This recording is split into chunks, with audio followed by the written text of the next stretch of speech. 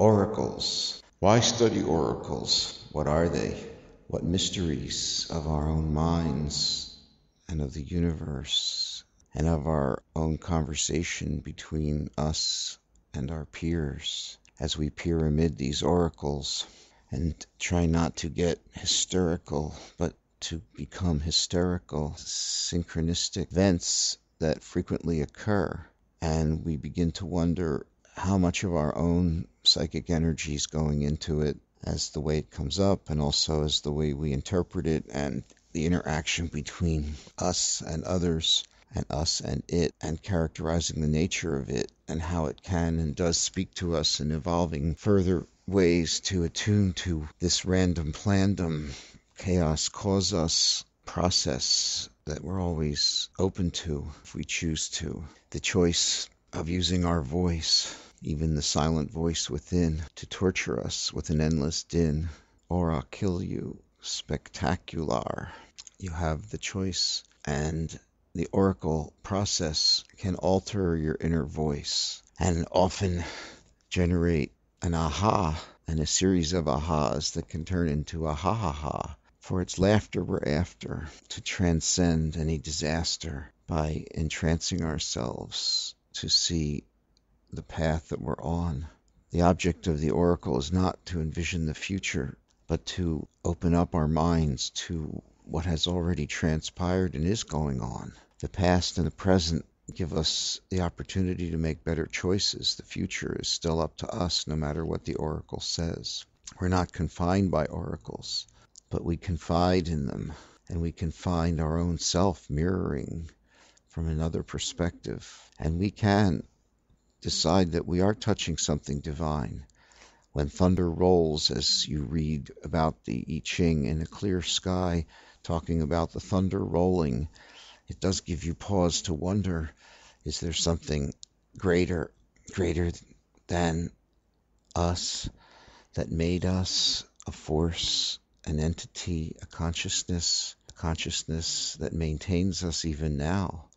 And creates us and sends us creative inspiration, a global consciousness, a universal consciousness that manifests uniquely in each of us and in everything that we do. And as we animate our world by shuffling a deck of cards or letting a computer spin at random or observing the way the planets moved during unusual events, seeming as if some higher mind planned them. We attune to this infinite consciousness by allowing signs and portents, seemingly random events, shuffles of cards, fall of tea leaves, animals in nature, opening a book at random, something catching your eye, synchronicities, people contacting a coincidence, a coinky dink. Is it God winking at us, coinky dink? Can we just generate these coincidental vortexes and text it and see the context and understand that these coincidences are but a mere sliver of a greater interconnected network, just as our eyes only see a tiny sliver of the electromagnetic spectrum that is so vast, our minds are only seeing a sliver of a greater reality with all our senses, and that there are people who have seen and do see and contact other realms so easily. They can look into your body, past, present, and future. They can speak to angels. There are miracles occurring and haven't been occurring forever. And as we use the ability to use these oracles, we often find something spectacular that will happen between us and the oracle, and between us and the people around us, and with nature itself and the wind. So as we climb into the fall of our autumn attic, writhing and writing, bring yourself your openness, your tarot decks, um, a computer, as many computers and laptops and um, smart devices. Each one can be seen to synchronize, and we can have a whole audience of us and all the manifestations that the infinite can fit in. And each of us can channel and automatic write and hypnotize and be hypnotized and see past lives and future probabilities and read the oracles, the tarot, the astrology, the I Ching, runes if you have them. I've never played with them, but um, anything else that you can think of. And of course, the electric fortune cookie. And anyone's welcome to design their own electric fortune cookie. www.askefc.com, a random word generator with 6,500 words that I spent over a month selecting from an Oxford dictionary as a base vocabulary to communicate with the inner and outer, the infinite within and without us. By thinking of a question or typing it in and hitting ask, several words will be selected at random. What you type in merely appears on the next page so you can focus on it but has no effect on the randomness, which is selected from an invisible counter at the moment you hit ask. Whatever number is on there goes into another randomizer that selects the words. And so a friend asked, Who or what is God? And the first word it picked was relations. And relations is what the oracles create for us a relationship to ourself, a relationship to the infinite, a relationship to the oracle and to people around us and to nature. And the next word was audience. And God is watching. God is entertained by us. God split into the infinite variety of living things. God is everything. God loves us and is entertained by us. And then she asked uh, the electric fortune cookie, what or who is Satan. And the first word was mentor. So even your tormentor is your mentor, one who causes you to become enlightened through the process of your own experience, making choices, deciding what to believe and what to let go of.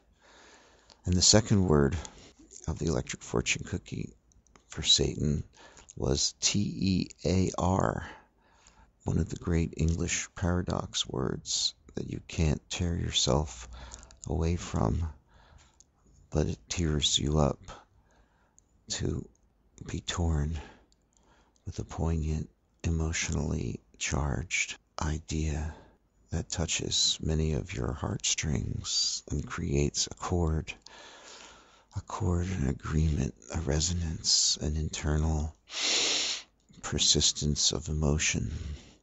And so Satan is the mentor who tears us and tears us. And then there's short phrases in the electro fortune cookie, two or three words. Third and final selection was subject to. And so what we subject ourselves to and what we subject others to is our Satan, saying it again and again. Satan, say it again. Repetitive thinking, cyclical, degenerative thoughts that keep us trapped, saying it again and again. And breaking the spell of saying it again and again of Satan is Satanama, Satan no more. Satanama, S-A-T-A-N-A-M-A, an ancient Kundalini opening resonance with the universe chant to enchant you, to give your voice the choice, your inner voice as well as the outer voice. The Satanama calls the dragon of what you've been dragging around and lets it disperse and lets you disperse as you reach silence as you say it aloud for the physical body, Satanama. Whisper it for the emotional body, Satanama. And lip sync for the spiritual body. A brilliant meditation. Sa is sa tall, saw by its saw. It's we see, we sense. It's the everything, the totality. Sa. And then ta, ta-da, ta is the individual birth, the, the singular consciousness that embodies all. Ta, the talk, the self-talk, and na, mm, na, blocks off the nasal resonance, is the nothing, is the now, the end. And ma, mm, ma, the mouth head resonance, the mother, the more, the summation, and the silence at the end after is the infinite peace and the new release and the realizations that never cease when you empty your mind of what you've been saying again and again and allow something new to take root and begin.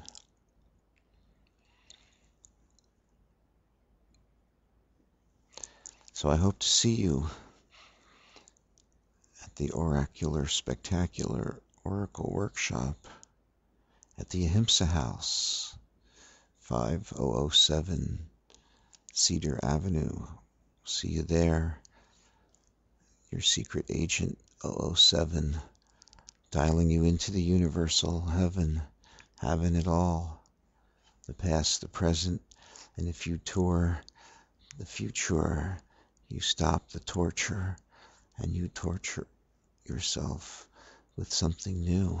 The lessons lesson when you learn them and you earn them through expanding your mind, connecting with yourself, connecting with others, connecting with infinity allowing the emptiness and allowing the filling, the feeling, the filaments that fill in between us, between all of us, the relations to audience, each other, and attune and attend to our divine depend, interdependence, declaration of interdependence, to interconnect, to appreciate, to refine and evolve what love can mean.